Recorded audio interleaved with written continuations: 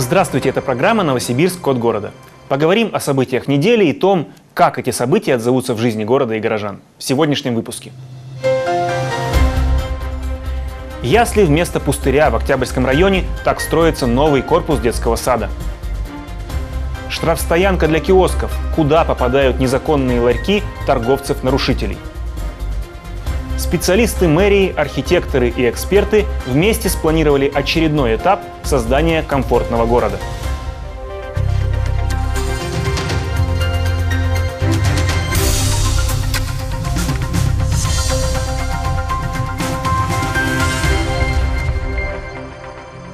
История с тревогами общественности по поводу появления в парке Сосновый Бор плавательного бассейна завершилась, как и обещала городская власть, благополучно. Вброшенная кем-то некорректная информация, что строить будут капитальное сооружение и пострадает любимый всеми парк, взволновала людей.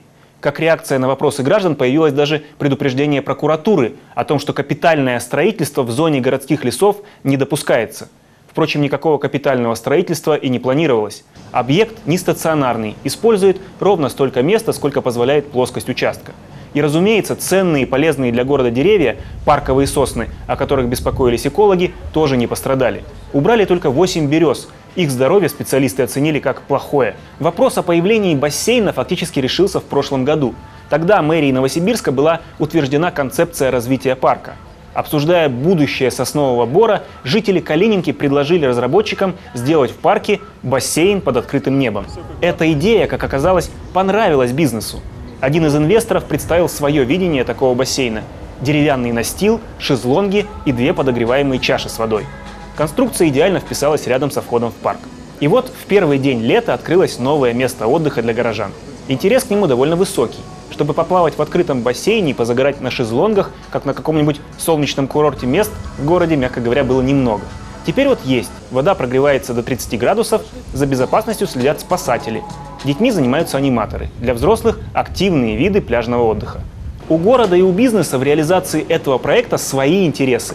Город получает, во-первых, новый объект для отдыха горожан, во-вторых, вложение от инвестора в благоустройство основной части парка, а в-третьих, часть доходов от продажи билетов в бассейн. А инвестор получает бизнес, в котором минимум конкуренции и десятилетний договор по аренде земли в привлекательном для горожан месте. Конечно, инвестор рискует, Пляжный сезон у нас значительно короче, чем в Турции. Конкурент тоже как будто есть. Бассейн под открытым небом работает в Зальцовском парке. Но у жителей Калининки Сосновый Бор – это любимое место отдыха. Впрочем, риски бизнеса – это риски бизнеса. Условия понятны, прозрачны и они приняты. Этот проект – очередной успех городской власти в деле создания комфортных, общедоступных пространств в Новосибирске. Их можно создавать не только за счет бюджета, но и за счет инвесторов – но инвесторов надежных и с хорошей историей.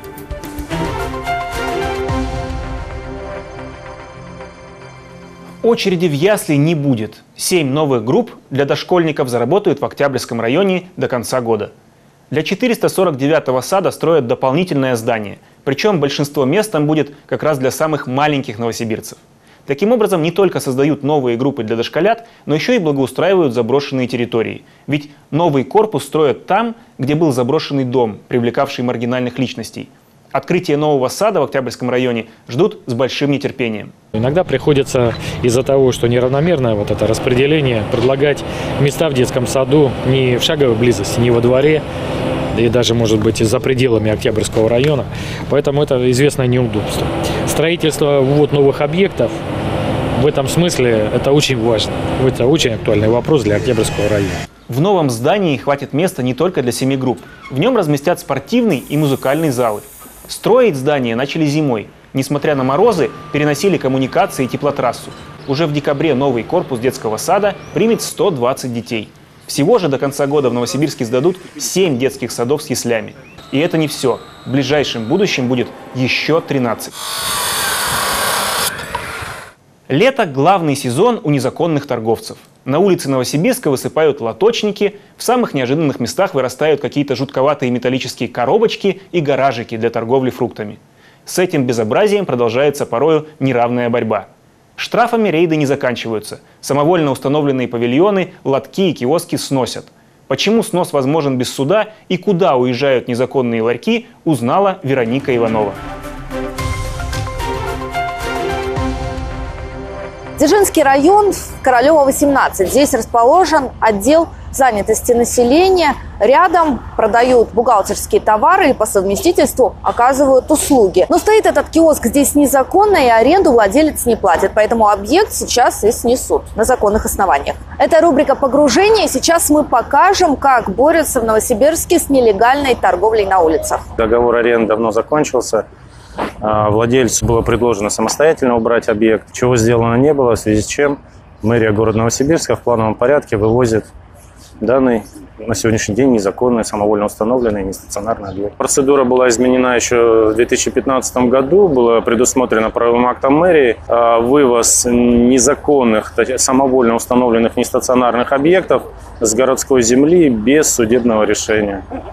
Это действительно упростило ситуацию. Судебные процедуры занимают полгода и более с учетом обжалования.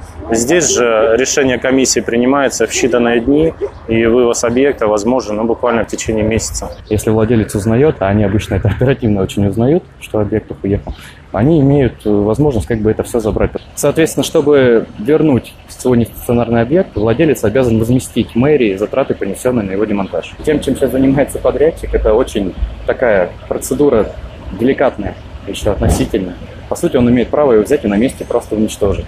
Сейчас э, подрядчик закрепляет объект полностью для безопасности. Далее мы сопровождаем этот объект до штрафстоянки. Как выглядит штрафстоянка для автомобилей, наверняка многие знают. А вот это штрафстоянка для нестационарных объектов, которые разместили на улицах Новосибирска несанкционированно. Здесь хранятся киоски, ларьки, павильоны, гаражи новосибирских автомобилистов. Вместе с машинами некоторые приезжают. Борьба с нелегальной торговлей – процедура сложная и длительная. Сначала объект полгода хранится на штрафстоянке.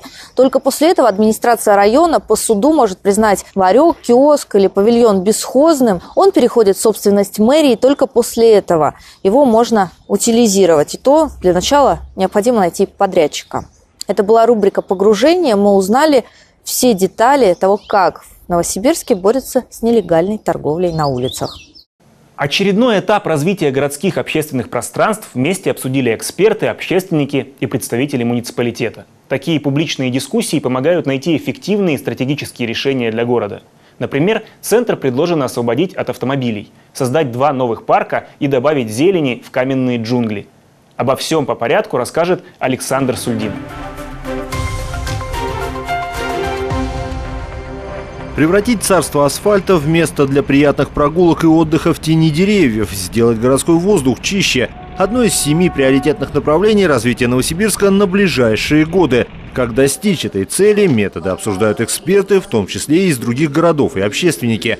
Мэрия Новосибирска представляет большую программу. В ближайшие годы в городе появится сразу несколько парков. Мы будем предлагать как развитие новых территорий, таких как, например, а, набережная реки Иня. Это новое пространство, которое мы будем презентовать как будущее, так и проекты реновации. Деревня Кривощекова. Мы хотим также презентовать как новую территорию развития именно исторического пространства. Мы будем презентовать презентовать новые современные пространства именно для развития современного искусства. Парк по обеим берегам Ини по проекту напоминает Михайловскую набережную. Здесь есть свои изюминки, живописные скалы, их подарила природа. Люди собираются сделать участки с деревьями и кустарниками разных природных зон Сибири. Конечно, аллеи для прогулок, лавочки, чтобы книжку в тени почитать. Скверы не должны стать зелеными островками в море асфальта. Их нужно органично вплести в паутину улиц. Для этого необходимо обновить генплан мегаполиса. Здесь не только планировочные какие-то подходы, но здесь и экономика должна быть, здесь и прогнозы развития роста города Новосибирска, в какую сторону, за счет чего он будет, будет расти и, и развиваться. Поэтому серьезнейший документ. Для этого ну, мы планируем не менее двух лет работы. Опираться будут на опыт реконструкции Михайловской набережной, концепцию развития зеленых зон и сложившиеся подходы. К благоустройству территории в Новосибирске сложился комплексный системный подход. Сначала в разбивку новых аллей, установку лавочек, освещения. Вкладывают деньги из бюджетов всех уровней, как это было на Михайловской набережной, или из городской казны, как здесь, в Центральном парке.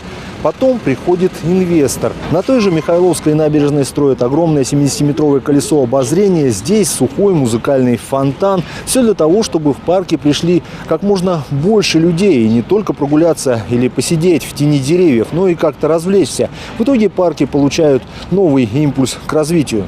Еще одна важнейшая проблема – чистый воздух. В Новосибирске много жалуются на пыль. Выяснили, половина загрязнения от смеси песка и соли, которые посыпают улицы зимой. Ее заменили на реагент Бионорд и каменную крошку. Собравшиеся признают, это помогло. Воздух, минувший весной, был чище. Представители Екатеринбурга рассказывают, как сделать реагент более эффективным. Мы в порядке эксперимента стали работать не одно, а двухкомпонентным материалом. То есть помимо сухого материала также распределяем жидкий рассол одновременно с ним, что способствует ускорению начала взаимодействия с льдом. Совсем от пыли в Новосибирске пока избавиться не удалось. Меньше ее будет только в одном случае. Развивая улично-дорожную сеть и, и не сокращая при этом трафик автомобильного транспорта, все-таки мы большого э, снижения вредных веществ в атмосферном воздухе не добьемся. Выход – сделать больше платных и перехватывающих парковок, чтобы меньше машин въезжало в центр. Развивать трамвай и троллейбус, а не экологичнее автобусов.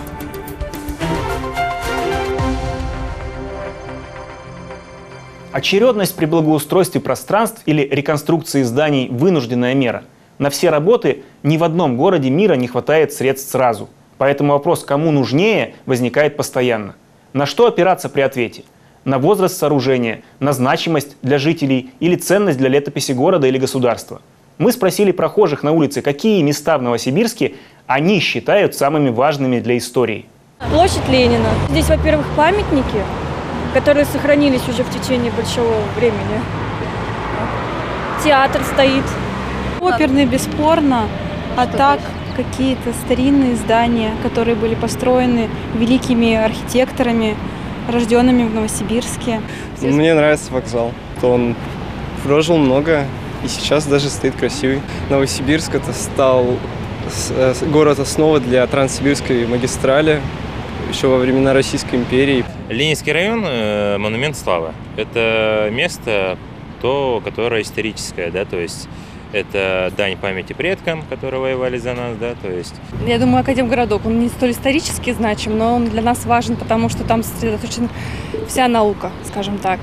Плюс ко всему, это просто место, где хорошо, приятно провести время и отдохнуть. Улица Советская, банально по ней пройтись, и все эти, все эти архитектурные здания, они впитывают впитали в себя историю города. НГТУ тоже, и вся его территория, и кампусы, кампусы, и общежития довольно-таки важен. Мы там учились.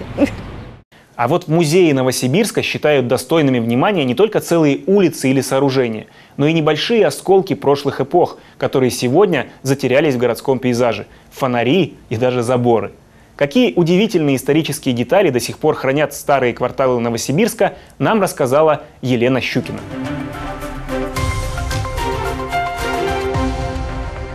Елена Михайловна, добрый день. Мы с вами договорились встретиться именно здесь. Почему выбрали это место? Что здесь такого уникального? Доброе утро.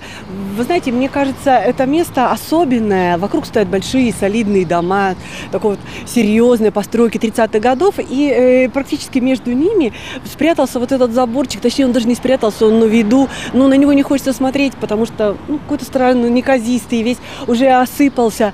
Но ну, да. если мы вернемся в середину 30-х годов, представьте, забор, только что построенный, наверху стоят вазоны, цветы. И вот действительно вот такой вот забор, который связывал дома по улице Урицкого, наверное, дарил красоту людям, которые здесь жили, которые проходили мимо такие заборы, они как бы создавали инфраструктуру целого квартала, да, огораживали его, делали монолитным.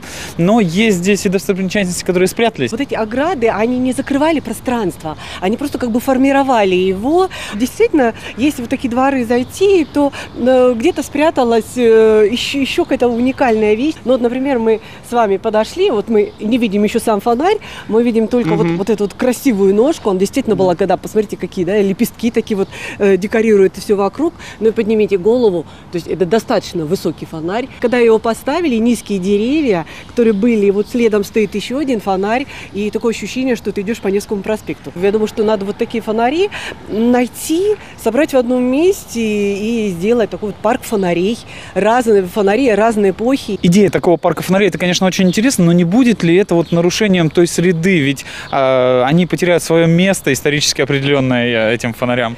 А, ну вот мы видим сегодня в каком они состоянии, но представьте себе, что вот мы приходим завтра, его просто нет. Это совершенно никого не будет беспокоить. Был фонарь, не был фонарь. Он здесь э, выполнил свою функцию, которую должен был. И мы потеряем в какой-то один прекрасный момент, просто сдадут его на металлолом. Еще и забор здесь такой, Ну, тоже здесь- уникальный. И, да. это, и это все в одном дворе, Да, это получается. рядышком, мне кажется, 100, 100 метров в радиусе. Но обратите внимание, это не просто забор, который выполняет функцию еще подпорной стенки, но и здесь весь ландшафт как терраса сделан. Не сравняли под ноль, не закатали асфальт, а сделали вот такой вот небольшой э, сквер. Главная задача, э, во-первых, чтобы люди знали, что это есть, и во-вторых, привести это в порядок. Фонари, заборы, вот этот дворик приятный. Однако это же ведь часть э, будущего целого проекта большого. Что за проект запускает музей города Новосибирска? Проект называется «Городское памятное место», и наша задача привлечь внимание горожан, внимание разных руководителей, организаций, городских властей к тем местам, которые сохранили сегодня вот эти вот приметы времени. Э, Это могут быть здания, э, которые рано или поздно получат статус объекта культурного наследия, поскольку они имеют особую историко-культурную ценность и будут охраняться государством.